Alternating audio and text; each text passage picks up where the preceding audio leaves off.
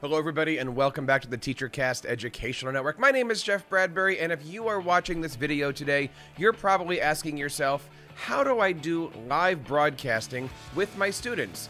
Now, this is a question that I get asked each and every time I do a professional development session, and today I have probably the easiest answer that I have ever given before, and I'm excited to share with you today on TeacherCast.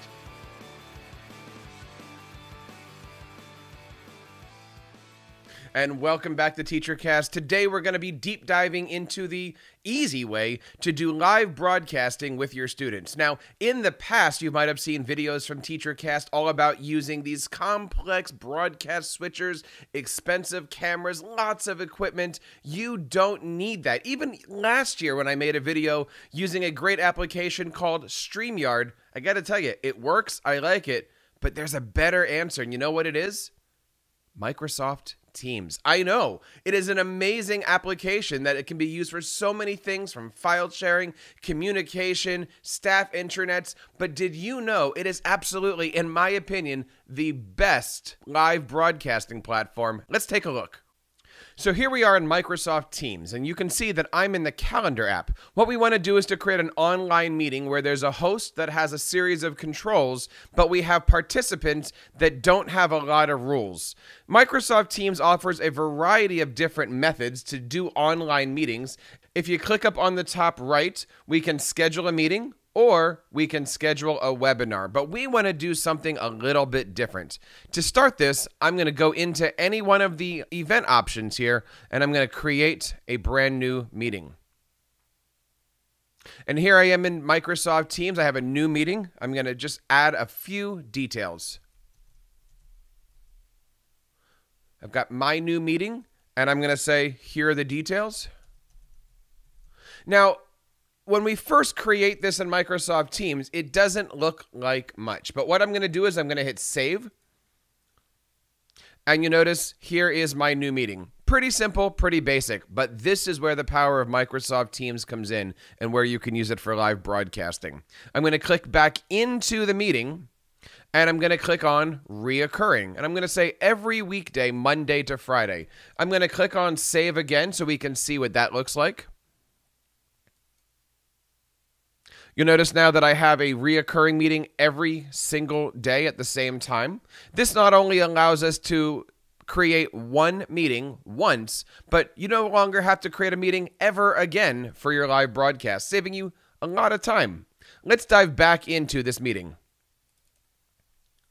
Now, the next thing that we're going to do is we're going to create a required attendees list. This might be your classroom teachers. This might be a group. This might be your building Microsoft team. Let's just create a new attendee list right now. So here I am, I have one attendee, and I'm going to hit the save button one more time to send an update. You'll notice that Teams is spinning a little bit. There's a lot more information that's on here. And so now I have my new meeting and I have who it's from. I'm going to click back here into my meeting. And now I've opened up a brand new world of Microsoft Teams. You notice things are a lot different. I now have a link to join a Teams meeting, but I also have a ton of information up here. I've got a scheduling assistant, meeting notes, a whiteboard, attendance, breakout rooms, files, and chat. So much of Microsoft Teams gets updated and unlocked when we create an event with somebody else. But I'm going to click on one more button that's hiding here. I'm going to click on meeting options. So here I am in the meeting options area. This opens up your browser and opens up a new tab in your browser. And now I can set this up for my live broadcasting. What we want to do is we want to create an environment where the user, the performer, has access to tools so they can talk to each other and be the stage but your users, your teachers, your your people who are in your school can't interact with each other. So what we're going to do is we're going to say who can bypass the lobby and we're going to say only people I invite. And this is going to be for the students that you're working with, the teacher, maybe your principal. So I'm going to click in here, people I invite. Always let callers bypass the library. No. Announcement callers join or leave. I'm going to say no because I don't want to know when all these teachers are popping in and out. Who can present? This is going to be specific people because, again, I'm going to say only these students or only these teachers are going to have presentation rights. I'm going to say allow mic for attendees. No, that means that the people watching your live broadcast can't speak to. We don't want that for this exa- example.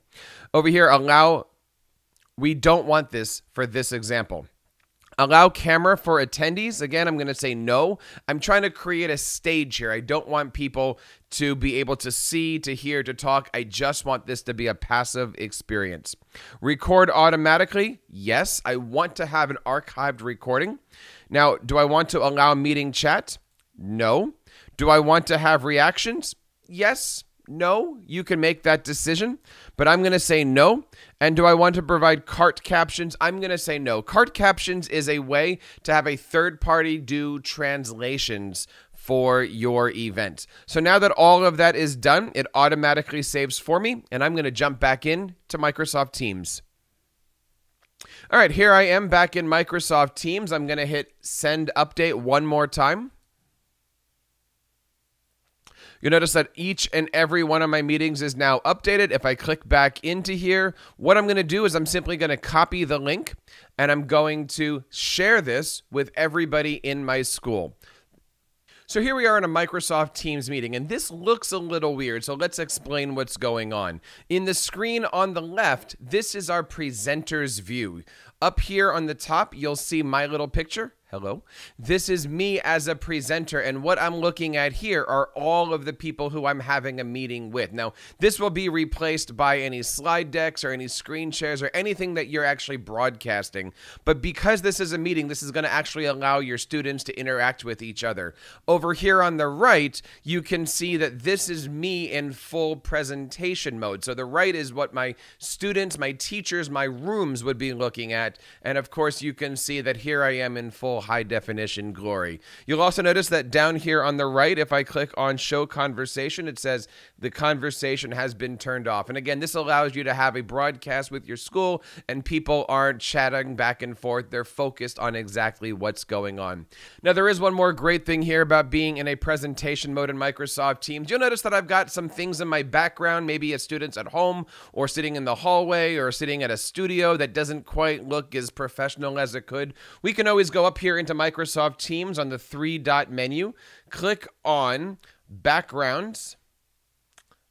And now we can put our students and put our broadcasters anywhere that we want. We can click over here, we can click apply, and suddenly we're in a classroom, we're in a news studio. And if you create your own custom banner, you can do anything that you need to and put your students all around the world. So as you can see, Microsoft Teams is an amazing platform, not just for file sharing and communication, but to also quickly and easily create live morning announcements and live broadcasts for your school, community, or any kind of organization.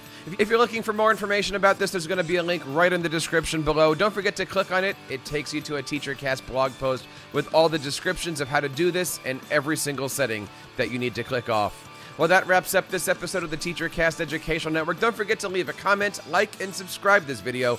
We certainly love having you guys as part of the TeacherCast Educational Network. So on behalf of everybody here on TeacherCast, my name is Jeff Bradbury, reminding you guys to keep up the great work in your classrooms and continue sharing your passions with your students.